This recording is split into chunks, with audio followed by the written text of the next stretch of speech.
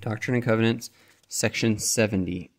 Revelation given through Joseph Smith the prophet at Kirtland, Ohio, November 12, 1831. The history written by the prophet states that four special conferences were held from the 1st to the 12th of November, inclusive. In the last of these assemblies, the great importance of the Book of Commandments, later called the Doctrine and Covenants, was considered and the prophet refers to it as being the foundation of the church in these last days and a benefit to the world, showing that the keys of the mysteries of the kingdom of our Savior are again entrusted to man. Behold and hearken, O ye inhabitants of Zion, and all ye people of my church, who are afar off, and hear the word of the Lord, which I give unto my servant Joseph Smith Jr and also unto my servant Martin Harris, and also unto my servant Oliver Cowdery, and also unto my servant John Whitmer, and also unto my servant Sidney Rigdon, and also unto my servant William W. Phelps, by the way of commandment unto them. For I give unto them a commandment, wherefore hearken and hear, for thus saith the Lord unto them I, the Lord, have appointed them and ordained them to be stewards over the revelations and commandments which I have given unto them, and which I shall hereafter give unto them.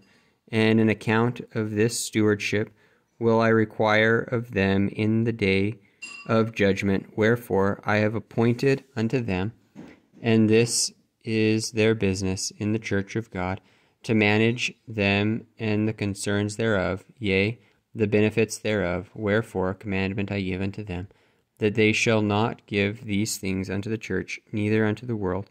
Nevertheless, inasmuch as they receive more than is needful for their necessities and their wants, it shall be given unto the, my storehouse, and the benefits shall be consecrated unto the inhabitants of Zion, and unto their generations, inasmuch as they become heirs according to the laws of the kingdom.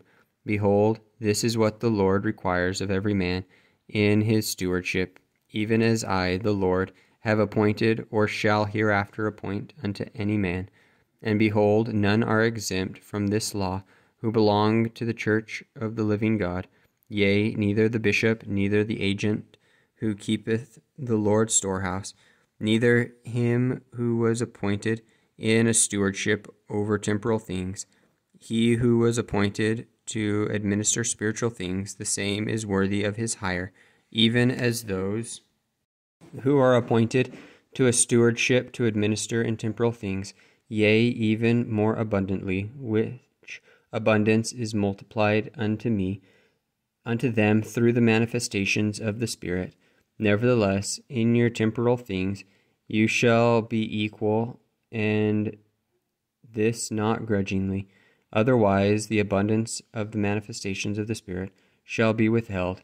Now, this commandment I give unto my servants for their benefit while they remain, for the manifestation of my blessings upon their heads, and for the, a reward of their diligence, and for their security, for food and for raiment, for an inheritance, for houses and for lands, in whatsoever circumstances I, the Lord, shall place them and whithersoever I, the Lord, shall send them. For they have been faithful over many things, and have done well, inasmuch as they have not sinned. Behold, I, the Lord, am merciful, and will bless them, and they shall enter into the joy of these things. Even so, Amen.